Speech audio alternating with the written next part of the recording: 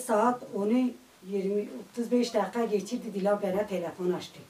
Dedi anne dedi ben bir tane çerçeden halı örtücü almışım. Dedim Dilan kaça aldın dedi ben 600 milyona almışım. Sonra dedi siz bize davetlisiniz. Benle öbür küçük kızımı eve davet etti. Ben de tamam dedim. Ben telefonu kapattım. 25 dakikanın içinde kızımı öldürür. Oğlan malda gelir. Balya parası, ot parası götürecek verecekmiş. Ondan sonra bu 600 milyon eksik çıkır. Diyor Dilan hani para? Dilan da diyor ki ben halı örtücü aldım. Annesi orada müdahale yapıyor. Diyor senin karın akşama kadar seyyar satıcılardan alışveriş yapıyor. Orada Keziban eltisi çıkır. Diyor öyle değil Keziban. Keziban da demiş he öyle. İşaret edir diyor vur öldür. Benim kızımı öldürürler. Bundan sonra da ondan sonra da intihar sisi verirler. 25 dakikada bir deli olsa bile kendini intihar etmez. O evin içinde bir cinayet olmuş, utanmazlar. Bir de diyorlar ki intihar, doğrusunu söylesin. Dilan'ın katili Keziban Yıldırım, Güler Yıldırım, İlhan Yıldırım. Bir hali örtügüne sebep 600 liraya sebep benim kızımı öldürdüler. Köy halkı hep bilir, millet korkuyor konuşmuyor. Doktor bizde, savcı bizde, ona Keziban, hakim bizde, Hacı Fahir biz bu davayı parayla kapatırız. Peki bu devlet benim kızımın kanını kaybedecek.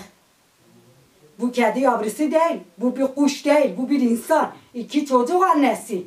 Elinizi böyle vicdanınıza koyun. Evladınız eğer varsa böyle bir dönün evlatlarınıza bakın. Hem kızımı öldürmüşler, Adalet Bakanı hem de beni tehdit edirler. Çocuklarımı tehdit edirler, kızımı tehdit edir. Yarın benim çocuklarımın başına bir şey gelirse ben devletime seslenirim, ben onlardan bulurum. Bizim can güvenimiz de tehlikede. Ben korkuyorum. Kaynanası Güler Yıldırım, eltisi Keziban Yıldırım. Üç senedir kızımla konuşmuyordular.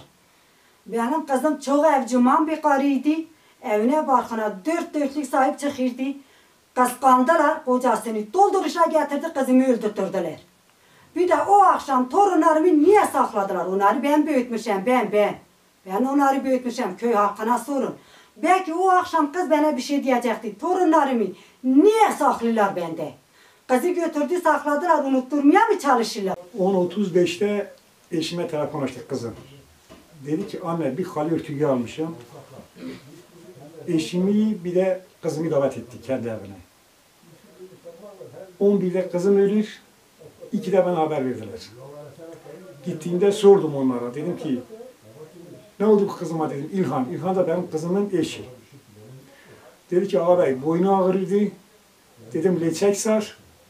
Eğlenirsen sen hastaneye götür. Eğlenmezse, eğlenmezsen de sen hastaneye götürsem, götüreceğim seni. İki gün sonra duydum ki kızım intihar etmiş.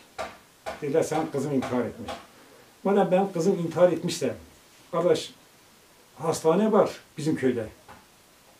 Ondan sonra Köprüköy'de hastane var, devlet hastanesi hem de. Bir de ben varım. Devlete de haber vermemişler. Almış kafasına göre pasillere götürmüşler. Bunlar Hayat'ın arabasıyla götürmüş, amcasının arabasıyla. Hayat'ın arabası ambulans mı?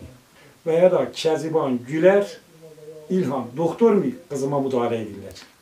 Bir saat kızımla uğraşırlar. Ondan sonra atlar bayağı şahıs arabaya, Hayat'ın arabasına hastaneye götürürler. Niye Köprüköy'e götürmedi? 2 kilometre. Niye ambulans çağırmadılar? Niye devleti yok gördüler bunlar? Eşine telefon açtı dedi ki senin kızın bayılmış. Gel biz hastaneye gidiyoruz siz de gelin. Biz de kalktık burada araba tuttuk gittik hastaneye. Dedim ki ne oldu? İlhan. Dedi ki boynu ağrıyordu. Ben de yemek istedim. Bana yemek getirdi. Bayıl düştü ayaklarımın altına. Ben de aldım hastaneye getirdim. Ama bu sefer öldürmüşler üstünü kapattık. Dedim ki eğer bunların devleti varsa ben de bir başka devlet istiyorum. Başka yapacağımız da bu. Madem devlet her şey bunlarınsa benim de halk beni desteklesin o zaman.